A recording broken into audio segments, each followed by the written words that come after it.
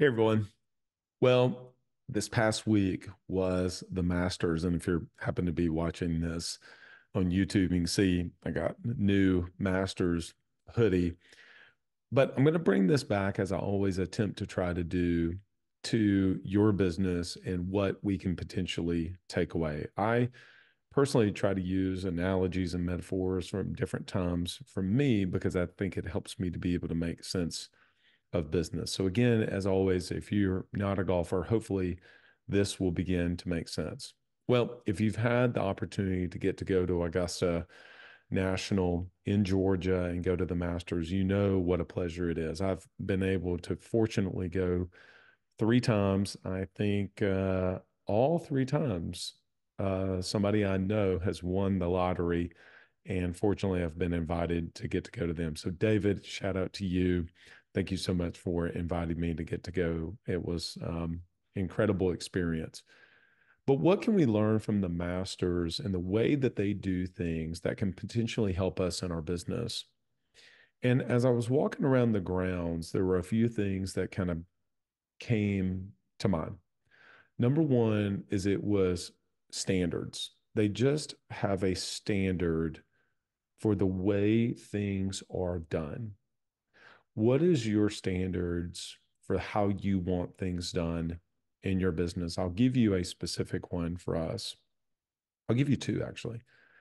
One is a certain way that we use Slack to be able to communicate. And I know this is fairly tactical, but hopefully it gives you a specific example the way that we use Slack to respond, the using threads, the way that we even structure and bold something, what things we use emojis to mean mean certain things. I know that sounds silly. Many of you may not use Slack in your team communications, but it's not at random. There's a structure, there's a process for how we do things, and even a, a routine. And the reason that's important is because when someone comes into the organization, they get accustomed to that. And they say, okay, this is how they use Slack. And I think that becomes important. I'll give you a second one the way that our documents look. So we primarily use Google Docs. I love Google Docs, but this applies with Word documents as well. One of our maxims is um, never send a doc in Arial. And so if you send a document to me of one of our uh, something that we use and it's in a font that's not how we wanted the font that we use, then I'm going to say something about it. And the reason is you may say, Bradley, do you think actually a business grows off of the different font that you use for an internal document? Not at all. Not at all. Not at all. It's not going to matter to anybody whether or not that document's in Arial, Times New Roman, or something else. Okay. Helvetica. It doesn't matter. But what it signals is that there's a way that we do things. We care so much about having a system, a all the way down to how our documents look internally. Now, I'll give you a very fairly practical one about this one is that if you start down the process of documenting your systems and processes. And you create a document, say a Word document, and then you have somebody on your team do it. Let's say you're working on the sales playbook, and then somebody else is working on the marketing playbook, and you're, and then you've got the recruiting system that you're documenting in your organization. And different people are touching those. Well, different people are going to have different taste. And so what you're going to end up with is like a Frankenstein looking documents because they're at random. There's no standardized way to do things.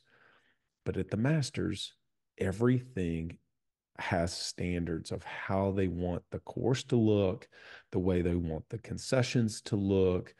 I even saw whenever I went through the concession stand, they were, um, I was getting one of the beers. It was a crow's nest. And they had the beer and they sat the beer down. And what they did is they turned it, they turned the cup Wish I had one with me. And uh, they turned the cup to where crow's nest was pointed. It wasn't like there was a way that they even wanted that to be done so that it was all neat and organized. So I think standards is one thing that really stands out to me about the masters. I think number two is that they over deliver. They over deliver. Now, this is one of our core values is to provide value first. And I certainly hope this podcast is is that way to for you.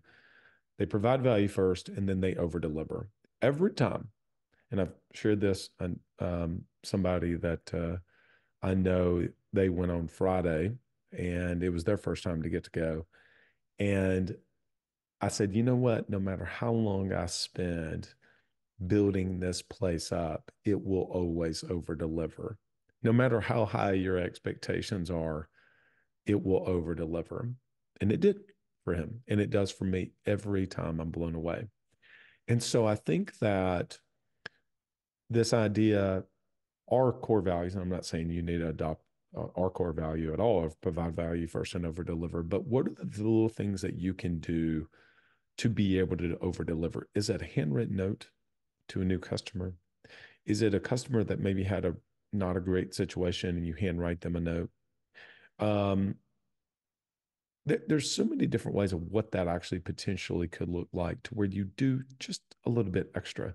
You go just the extra mile, and the master seems to always do that, which leads me to third and actually the most important thing that I took away from my time at Augusta and the Masters. They get better every year. The iterative process of always getting better. They seemingly never rest on their laurels they never slide backwards and they made mistakes. And I'll, I'll actually share with you one in a second that that I think um, as a very specific example that wasn't great that they will improve upon next year.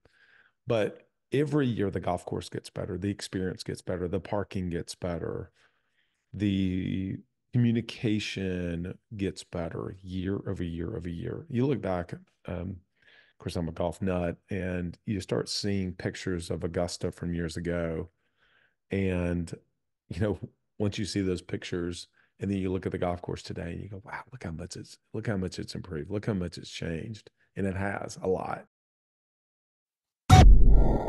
Are you an agency owner looking to grow your revenue, increase your bottom line, and better manage your taxes? Club Capital is here to help. Club Capital is the largest accounting and advisory firm for insurance agents in the country, providing monthly accounting, tax strategy, and CFO services. Way more than bookkeeping and your everyday run of the mill tax prep. Club Capital is focused on providing financial and tax advisory services that help you plan and forecast your agency's performance. Their financial dashboards and agency forecasting tools help you better understand your agency's historical performance, create measure future targets, and see how your agency compares to your peers around the country. Imagine what it would be like to understand the impact to your bottom line when deciding to hire a new employee or forecast the impact rate changes or commission rates will have on your business. With over $200 million in tracked annual revenue and $140 million in tracked annual expenses, Club Capital has the data and the team to help you make better informed decisions for your agency.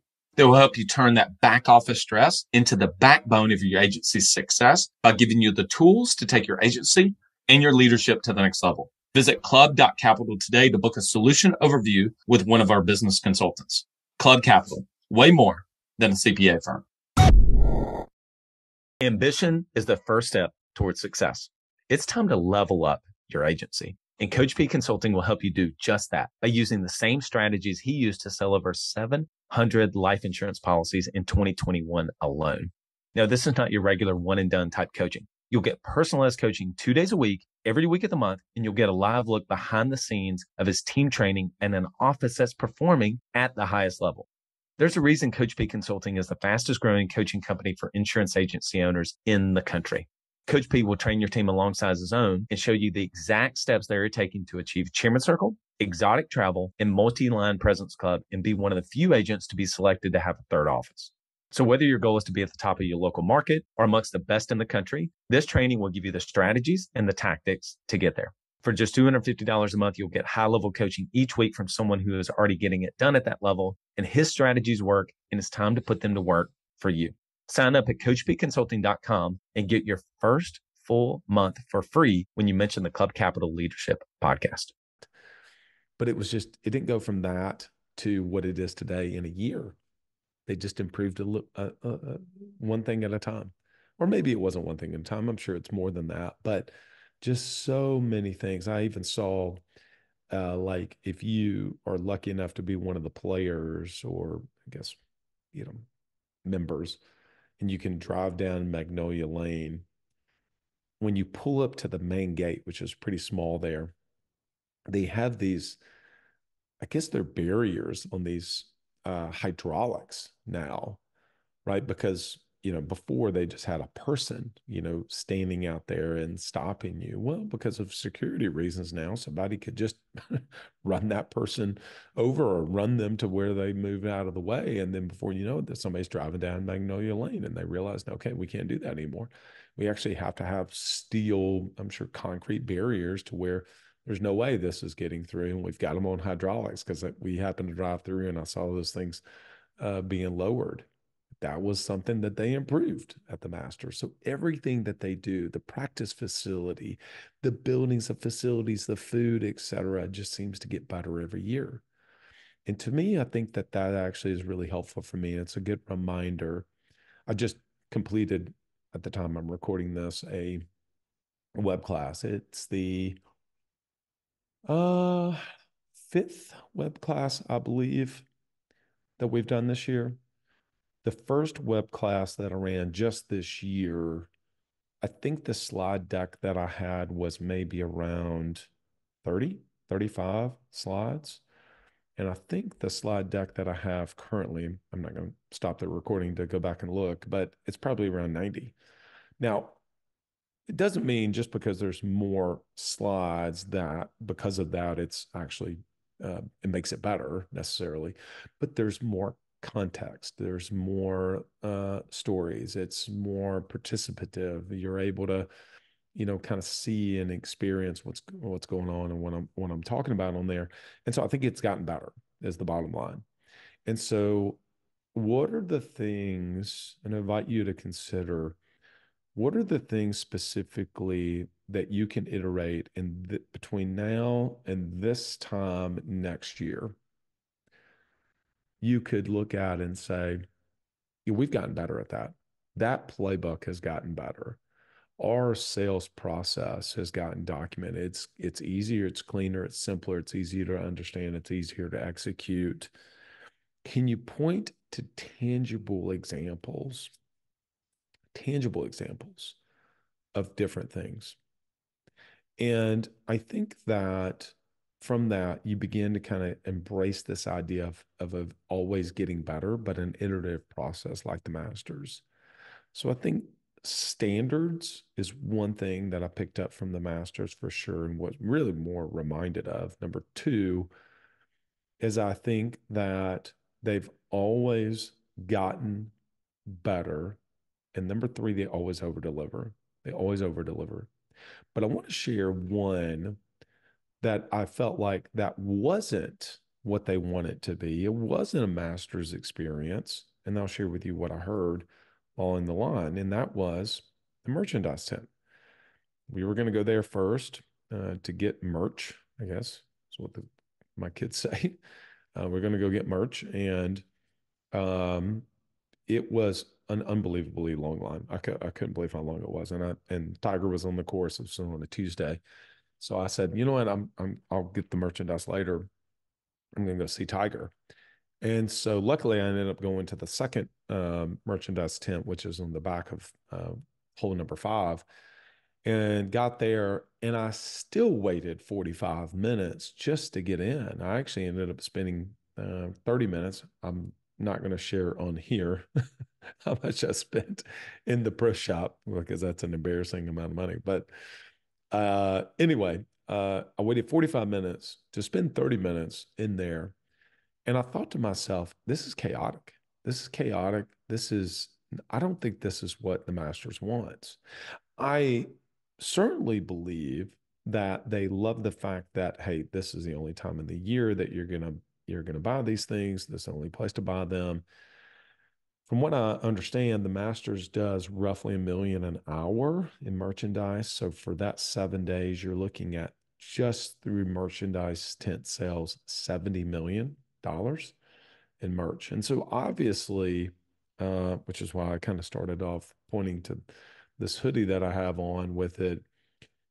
is that part of it they definitely want. They want to be able to make sales because that's one of the primary drivers of, of revenue for them to invest in improvements every year.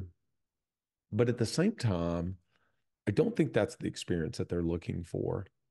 And it was a little frustrating. You you got your bags and you go through and you're you know maybe I waited 10 minutes just to check out. Um, I don't think that was great.